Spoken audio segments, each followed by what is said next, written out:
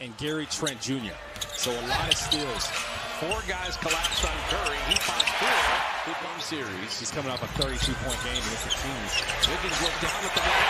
Wiggins took the body bump and flipped it in.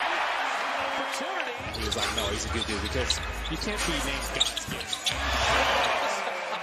As Jordan. He was? Second round pick In the middle at some point. To beat the buzzer, Poole three.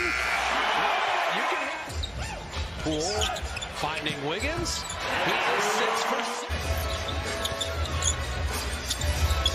Thought about it, then got it back from Looney. And he's already running back.